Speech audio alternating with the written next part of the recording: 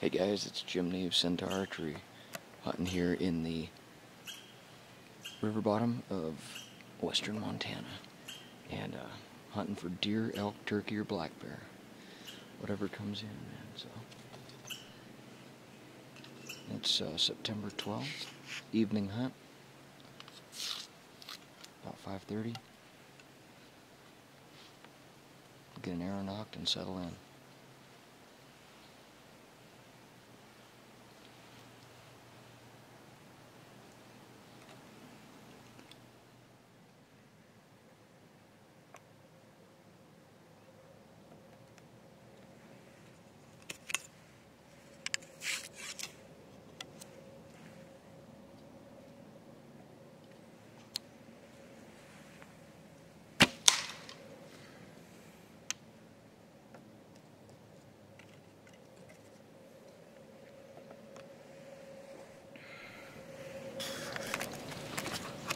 I missed. I straight up missed.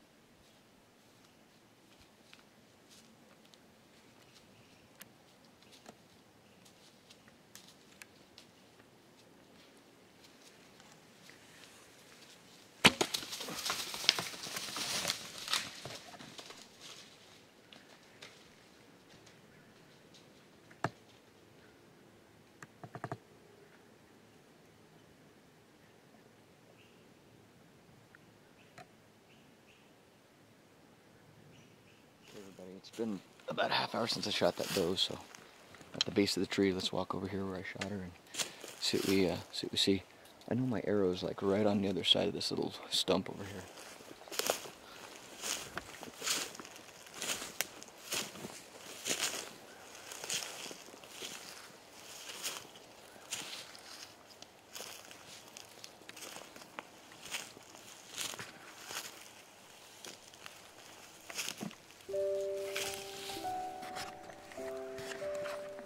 So we got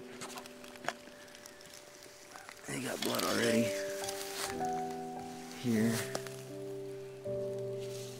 here, the stump. Here's my arrow.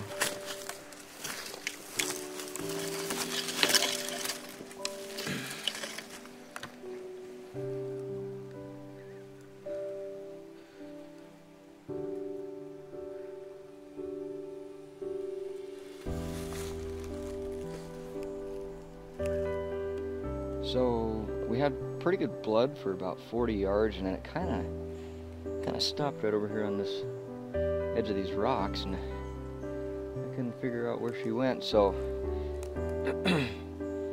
just kind of cut across here, and um, here she is right here.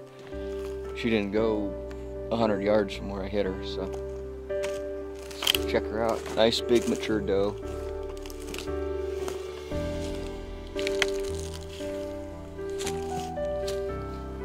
Well, after about a 100 yard track, here she is, guys. Um, nice big mature doe. She came right underneath the tree stand.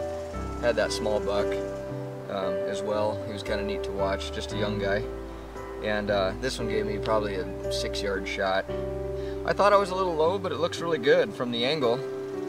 Um, exit wound was basically right out the bottom. So, uh, anyways, just a testimony as to uh, how effective uh, traditional gear can can be. And um, what a fun night. I was in, in the stand for maybe 10 minutes.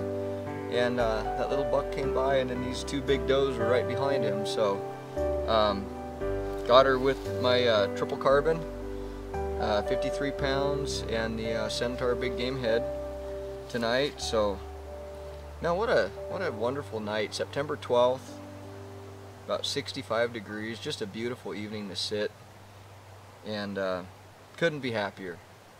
Thank you guys for coming with me tonight.